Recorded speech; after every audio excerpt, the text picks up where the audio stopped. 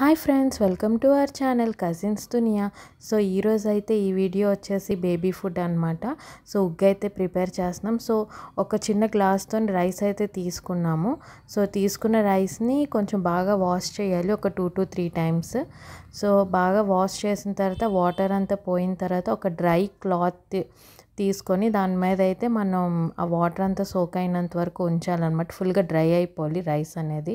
So సన్లైట్లో పెట్టుకుంటే ఇంకా better. So మేమైతే ఈవినింగ్ చేస్తున్నాం కాబట్టి నార్మల్గా ఇంట్లోనే ఇంకా డ్రై చేస్తాం సన్లైట్లో అయితే మనకి న్యాచురల్గా డ్రై అవుతుంది కదా.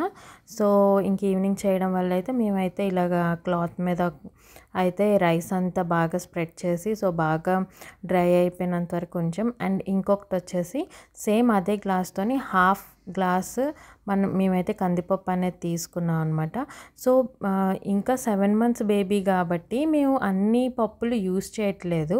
సో ఓన్లీ ఒక పప్పుతోనే ప్రిపేర్ చేస్తున్నాం అనమాట సో మంత్స్ పెరుగుతున్న కొద్దీ మనం కొంచెం పప్పు ఇంక్రీజ్ చేసుకోవచ్చు. డిఫరెంట్ టైప్స్ ఆఫ్ పప్పు కూడా మనం యాడ్ చేసుకోవచ్చు. అంటే మూంగ్ దాల్ కానీ ఇంకా అలా ఏమైనా కూడా యాడ్ చేసుకోవచ్చు. సో ఇది కూడా two to three times wash చేసుకొని సేమ్ అదే ఒక డ్రై క్లాత్ మీద అయితే ఇది కూడా మేము డ్రై చేసుకున్నాము. సో ఒక టెన్ ఫిఫ్టీన్ మినిట్స్ తర్వాత అయితే ఇలా డ్రై అయిపోయింది.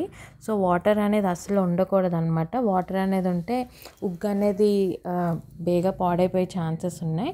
సో బాగా డ్రై అయిపోయిన తర్వాత ఒక ప్యాన్ తీసుకొని ప్యాన్ మీద మనం ఫ్రై చేసుకోవాలన్నమాట. ఈ రైస్ని సపరేట్గా అండ్ పప్పుని సపరేట్గా ఫ్రై చేసుకోవాలి. ఎందుకంటే పప్పుకి ఎక్కువ టైం పడుతుంది ఫ్రై అవ్వడానికి. రైస్కి ఫాస్ట్గా ఫ్రై అవుతుంది కదా. సో అందుకని చెప్పేసి డిఫరెంట్ డిఫరెంట్గా ఫ్రై చేసుకోవాలన్నమాట వేరే వేరేగా. సో ఇలాగ అయితే ఫ్రై చేసుకుంటున్నాము చూస్తున్న విధంగా. కొంచెం మనకి కొంచెం అరోమా అనేది వస్తుంది అండ్ కొంచెం బ్రౌన్ కలర్లో కూడా అవుతుంది రైస్ అనేది.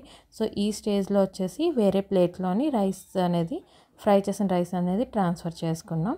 అండ్ నెక్స్ట్ వచ్చేసి సేమ్ అలాగే పప్పుని కూడా ఇలాగే ఫ్రై చేసుకోవాలి. సో ఇదేంటంటే మీడియం హీట్లో మాత్రమే ఫ్రై చేసుకోవాలి. సో పప్పు అయితే కొంచెం టైం పడుతుంది ఫ్రై చేయడానికి. సో అలా కలుపుతూ ఫ్రై చేసుకుంటే అది కూడా కొంచెం బ్రౌన్ కలర్లోకి చేంజ్ అవుతుంది అనమాట సో ఇలాగ కలర్ అనేది చేంజ్ అయిన తర్వాత మనం ఈ టైంలో మనం ఏం చేస్తామంటే సో బేబీకి ఫుడ్ డైజెషన్ అనేది కొంచెం కోలిక్ పెయిన్ అలాంటివి వస్తూ ఉంటాయి కదా. సో అవి అవాయిడ్ చేయడానికి ఏంటంటే మనం కొంచెం వాము అండ్ కొంచెం ఒక కొన్ని మెంతులు అండ్ సోంఫ్ అండ్ జీలకర్ర ఇవి యాడ్ చేసుకు ఇవి యాడ్ చేసుకుంటే డైజెషన్ అనేది బాగుంటుంది బేబీకి అండ్ కోలిక్ పెయిన్ అలాంటివి కూడా రావన్నమాట. ఎందుకంటే ఫస్ట్ టైం ఫుడ్ని ఇంట్రడ్యూస్ చేస్తున్నాం కదా రైస్ అండ్ దాల్ ఇవన్నీని. సో ఇలా కొంచెం కొంచెం యాడ్ చేసుకోవాలి. ఎక్కువ కాదు. లైక్ కొంచెం చిటికెడు అలాగ అంటాం కదా సో అలాగనమాట. సో చూస్తున్నారు కదా ఈ విధంగా పప్పు అనేది ఫ్రై అయిపోయింది కదా సో ఇది కూడా వేరే ప్లేట్లో ట్రాన్స్ఫర్ చేసుకోవాలి. చేసుకున్న తర్వాత సేమ్ ఆ ప్యాన్ మీద ప్యాన్ హీట్ ఏదైతే ఉందో సో అందులోని ఈ వాము ఇవన్నీ వేసి ఒక వన్ మినిట్ అలా ఫ్రై చేసుకుంటే అవి ఫ్రై అయిపోతాయి. సో ఇప్పుడు ఏంటంటే ఇంకా అది రైస్లో కానీ పప్పులో కానీ మనం మిక్స్ చేసుకోవడమే. చేసుకున్న తర్వాత ఒక మిక్సీ జార్ తీసుకొని సో ఫస్ట్ రైస్ అనేది వేస్తున్నాము. యాక్చువల్గా ఏంటంటే రెండు ఒక్కసారి వేయకూడదు. ఎందుకంటే రైస్ అనేది చాలా ఫాస్ట్గా మిక్స్ అయిపోతుంది.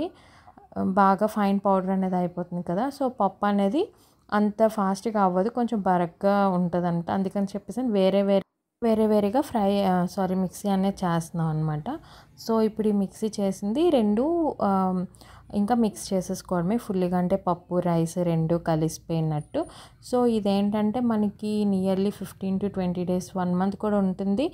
బట్ బేబీస్కి అన్ని డేస్ ఎందుకని ఒక ఫిఫ్టీన్ డేస్కి సరిపడినంత అయితే మేము ప్రిపేర్ చేసాము సో ఏంటంటే అది ఒక ఎయిట్ ఎయిట్ కంటైనర్లో మనం కానీ స్టోర్ చేసుకున్నామంటే చాలా బాగుంటుంది అనమాట సో ఇప్పుడు ఏంటంటే ఉగ్గు అయితే ప్రిపేర్ చేస్తాం సో కొంచెం వాటర్లోని వన్ స్పూన్ ఆఫ్ ఆ ఉగ్గు పౌడర్ అనేది మిక్స్ చేసుకొని ఉంచుకోవాలి.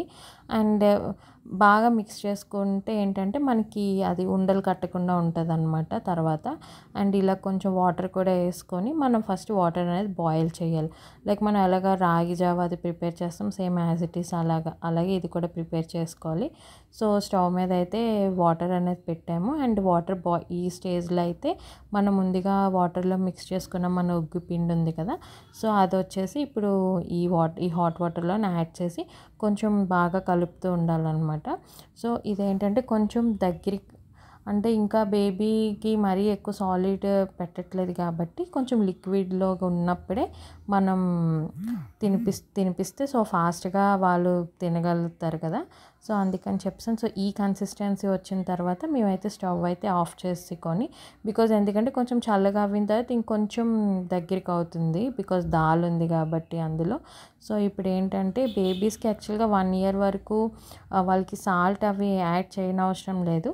బట్ అందుక అయినా సరే కొంచెం చిటికెడ అలా వేస్తున్నాను అనమాట సో వేసి కొంచెం బాగా మిక్స్ చేసుకొని సో మన నెయ్యి కూడా యూస్ చేసుకోవచ్చు బట్ మేమైతే యూస్ చేయలేదు. ఎందుకంటే బేబీకి ఫస్ట్ టైం కదా పెడుతున్నాం. సో ఇది ఈరోజు వీడియో. మీకు కనుక నచ్చినట్టయితే please like share and subscribe to our channel bye bye